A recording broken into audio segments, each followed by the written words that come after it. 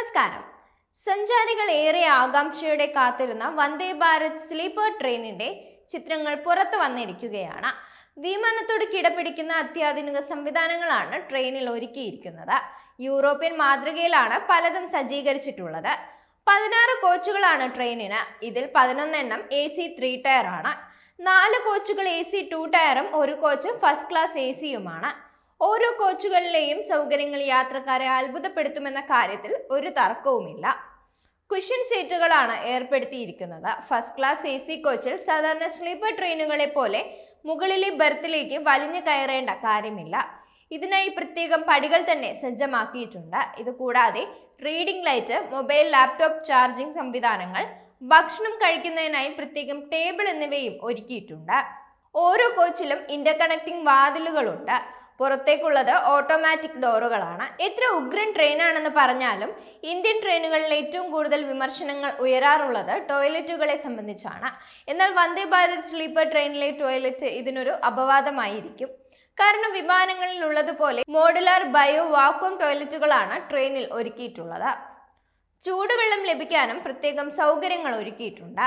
അംഗപരിമിതർക്കായി പ്രത്യേകം ടോയ്ലറ്റുകളുമുണ്ട്. കുഞ്ഞുങ്ങളുടെ നാപ്പി മാറ്റാനുള്ള മേശയും ടോയ്ലറ്റിൽ ഉണ്ടായിരിക്കും രാത്രി യാത്രയ്ക്ക് സുഖപ്രദമാകുന്ന തരത്തിലുള്ള ലൈറ്റിംഗ് സംവിധാനങ്ങളും സജ്ജമാക്കിയിട്ടുണ്ട്. പബ്ലിക് അനൗൺസ്മെന്റ് വിഷ്വൽ ഇൻഫർമേഷൻ സിസ്റ്റങ്ങൾ സി സി ടി വി ക്യാമറകൾ മോഡുലാർ പാൻഡറുകൾ എന്നിവയും ട്രെയിനിൽ ഒരുക്കിയിട്ടുണ്ട്. ട്രെയിനിന്റെ പരമാവധി വേഗത മണിക്കൂറിൽ നൂറ്റി അറുപത് കിലോമീറ്റർ ആണ് നൂറ്റി എൺപത് കിലോമീറ്റർ വേഗത്തിൽ വരെ ട്രെയിനിന് സഞ്ചരിക്കാൻ സാധിക്കും.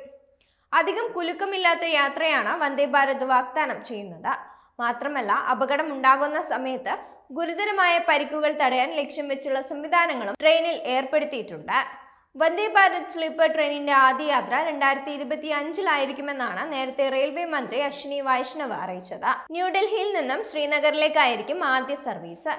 ഡൽഹിയിൽ നിന്നും ശ്രീനഗറിലേക്ക് എണ്ണൂറ് കിലോമീറ്റർ ആണ് ഉള്ളത്. വെറും പതിമൂന്ന് മണിക്കൂറിനുള്ളിൽ എത്തിച്ചേരാൻ സാധിക്കുന്ന തരത്തിലായിരിക്കും ട്രെയിൻ സർവീസ് നടത്തുന്നത്. രാത്രി ഏഴിന് ഡൽഹിയിൽ നിന്നാണ് പുറപ്പെടുക.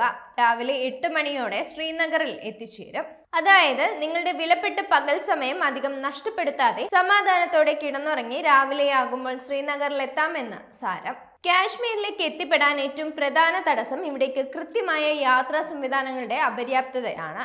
സ്ലീപ്പർ സർവീസ് എത്തുന്നതോടെ കുറഞ്ഞ സമയത്തിനുള്ളിൽ കാശ്മീർ എത്താമെന്ന് മാത്രമല്ല അതിനായി പകൽ സമയം വെറുതെ നഷ്ടപ്പെടുത്തുകയും ചെയ്യേണ്ടി വരില്ല. അതിനായി ഡൽഹിയിൽ എത്തുന്ന സഞ്ചാരികൾ ഭൂമിയിലെ സ്വർഗം കാണാൻ ഒരു പോക്ക് പോകാൻ മടിക്കുകയുമില്ല.